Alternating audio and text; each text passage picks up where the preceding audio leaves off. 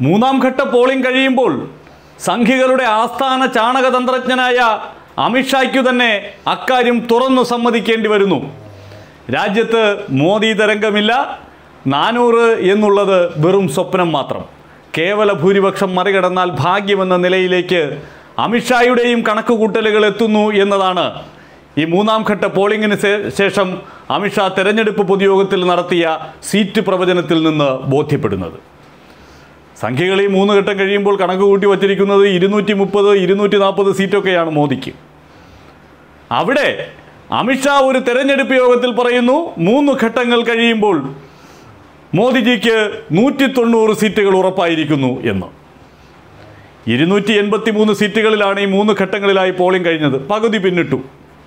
ആ ഇരുന്നൂറ്റി എൺപത്തി മൂന്നിൽ നൂറ്റി തൊണ്ണൂറ് സീറ്റുകളെ നരേന്ദ്രമോദിക്കും ബി ജെ പിക്കും കിട്ടുകയുള്ളൂ എന്ന് അമിത്ഷാ പറയുകയാണെങ്കിൽ എഴുതി വച്ചോളൂ ബി ജെ പിയുടെ അവസ്ഥ പരമദയനീയമാണ് पहला दूसरा तीसरा तीसरे चरण तक का परिणाम जानना है क्या मोदी जी 190 सीटें पार कर गए हैं 190 सीटें അമിത്ഷാ ഈ തള്ളിന്റെ ആശാനാണല്ലോ. കഴിഞ്ഞ നിയമസഭാ തെരഞ്ഞെടുപ്പിൽ ബംഗാളിൽ ചെന്ന് നിന്ന് ഇരുന്നൂറ് സീറ്റ് എന്ന് പറഞ്ഞയാളാണ്.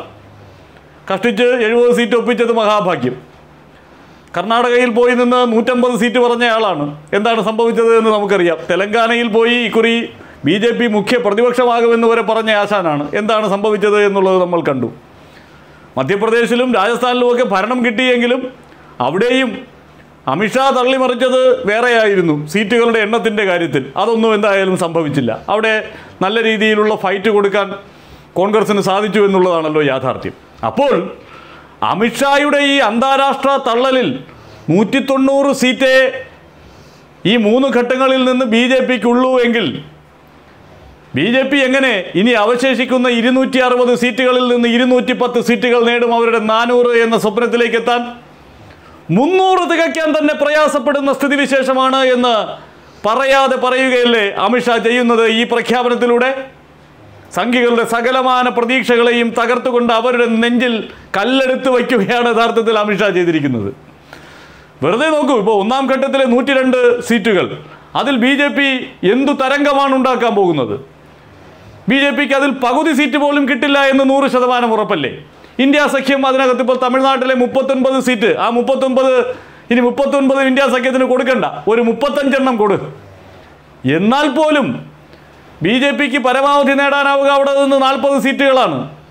രണ്ടാം ഘട്ടത്തിൽ കേരളവും കർണാടകയും അടക്കമുള്ളവ വിധി എഴുതിയ രണ്ടാം ഘട്ടത്തിൽ ബി ജെ പിക്ക് കഴിഞ്ഞ തവണത്തേതിൽ നിന്ന് ഇരുപത്തിയഞ്ച് സീറ്റുകൾ ചുരുങ്ങിയത് നഷ്ടപ്പെടുമെന്ന് ഉറപ്പ് അവിടെ രാജസ്ഥാനിലെ തെരഞ്ഞെടുപ്പ് നടന്നു.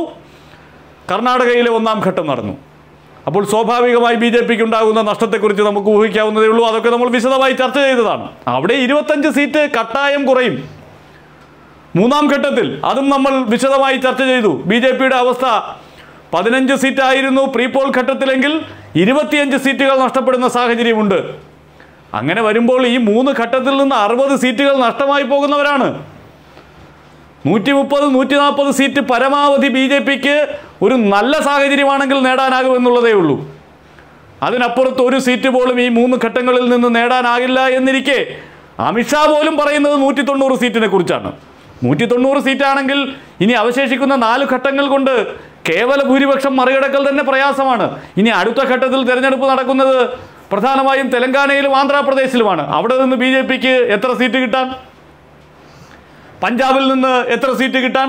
പശ്ചിമ ബംഗാളിൽ ഇനി മുപ്പത്തിരണ്ട് സീറ്റുകളിൽ പോളിംഗ് നടക്കാനുണ്ട്. ആ മുപ്പത്തിരണ്ടെണ്ണത്തിൽ ബഹുഭൂരിപക്ഷവും തൃണമൂൽ കോൺഗ്രസിന്റെ ശക്തി കേന്ദ്രങ്ങളാണ്. ബി ജെ പിക്ക് വലിയ പ്രതീക്ഷയില്ലാത്ത ഇടങ്ങളാണ്. ബി ജെ പിക്ക് പ്രതീക്ഷയുള്ള സ്ഥലങ്ങളിലാണ് ആദ്യ മൂന്ന് ഘട്ടങ്ങളിലായി തെരഞ്ഞെടുപ്പ് നടന്നത്. നാലാം ഘട്ടത്തിലെ കുറച്ച് സീറ്റുകളിലും ബി ജെ പി പ്രതീക്ഷ വയ്ക്കുന്നുണ്ട്. അതിനുശേഷമുള്ള സീറ്റുകൾ ബി ജെ പിക്ക് തിരിഞ്ഞു നോക്കാൻ പറ്റാത്തവയാണ്.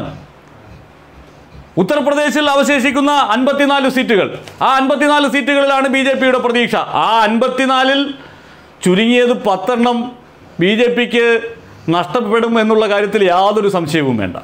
റായ്ബറേലിയും അമേധിയും അടക്കമുള്ളവയൊക്കെ ആ ഘട്ടത്തിലാണ് വരുന്നത്.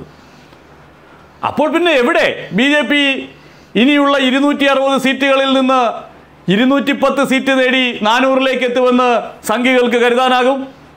ആ ഇരുന്നൂറ്റി അറുപത് സീറ്റുകളിൽ നിന്ന് നൂറ്റിപ്പത്ത് സീറ്റ് നേടാൻ സാധിക്കുമോ ബി ജെ പിക്ക്? അതാണ് ഇനിയുള്ള പ്രധാനപ്പെട്ട ചോദ്യം. അതിനു സാധിക്കില്ല എന്ന് ഇനിയുള്ള നാലു ഘട്ടങ്ങൾ സൂക്ഷ്മമായി പരിശോധിച്ചാൽ നമുക്ക് ബോധ്യപ്പെടും. മഹാരാഷ്ട്രയിൽ ഇനി ഇരുപത്തിനാല് സീറ്റുകൾ ബാക്കിയുണ്ട്. ജാർഖണ്ഡ് ബി ജെ പിക്ക് വലിയ തിരിച്ചടിയേൽക്കുമെന്ന് കരുതുന്ന ജാർഖണ്ഡിൽ പോളിംഗ് ആരംഭിക്കുന്നതേ ഉള്ളൂ. ഹരിയാനയിലെ പത്ത് സീറ്റുകൾ. ഹരിയാനയിലാണെങ്കിൽ ബി സർക്കാർ വീഴാൻ തുടങ്ങിയിരിക്കുന്നു. അങ്ങനെ പരമദയനീയമായ സാഹചര്യം പല സംസ്ഥാനങ്ങളിലും നിലനിൽക്കുമ്പോൾ എവിടെയാണ് ബി ജെ പി നേട്ടമുണ്ടാക്കുക എന്ന് കരുതേണ്ടി വരുന്നത്? ഉത്തർപ്രദേശിൽ പോലും അവരുടെ പ്രതീക്ഷകൾക്ക് വലിയ തിരിച്ചടിയേൽക്കുകയാണ് എന്ന് ബോധ്യപ്പെടുന്നു.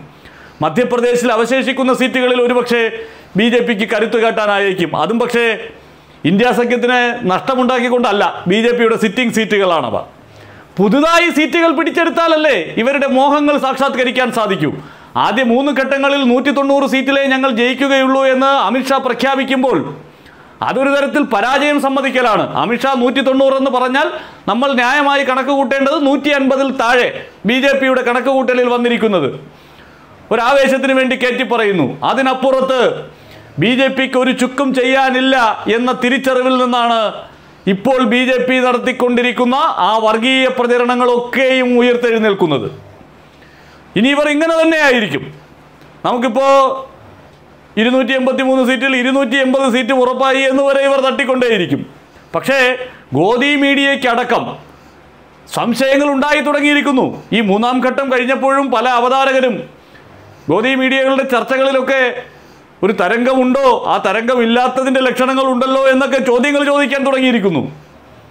പ്രധാനപ്പെട്ട രാഷ്ട്രീയ നിരീക്ഷകർ സർവേ വിദഗ്ധർ ഒക്കെ രണ്ടാം ഘട്ടം കഴിഞ്ഞപ്പോഴേ പറഞ്ഞു തുടങ്ങി ഇവിടെ തരംഗമില്ല എന്ന്. മൂന്നാം ഘട്ടമാകുമ്പോൾ പലയിടങ്ങളിലും കോൺഗ്രസും ബി ജെ പിയും തമ്മിലുള്ള ക്ലോസ് ഫൈറ്റിലേക്ക് കാര്യങ്ങൾ എത്തിയിരിക്കുന്നു. പ്രതിപക്ഷം പ്രതീക്ഷിച്ചതിനേക്കാൾ വലിയ സാന്നിധ്യം അറിയിച്ചിരിക്കുന്നു എന്ന് പറയേണ്ടുന്ന അവസ്ഥയിലെത്തിയിരിക്കുന്നു അത് സൂചിപ്പിക്കുന്നത് എന്താ? നല്ലതല്ല സാഹചര്യമെന്ന്. അത് അടിവരയിടുകയാണ് ഈ നൂറ്റി തൊണ്ണൂറ് എന്ന പ്രഖ്യാപനത്തിലൂടെ അമിത്ഷായും ചെയ്യുന്നത്. കൽഹി തീസ്രേ ചരൺ കാ चुनाव हो गया है। पहला, दूसरा, तीसरा, तीसरे चरण तक का परिणाम जानना है क्या? ज़ोर से बोलो भाई, जानना है। पक्का जानना है। किसी को बताना मत, मैं बताता हूँ तो नहीं बताएँगे ना? मोदी जी 190 सीटें पार कर गए हैं 190 सीटें।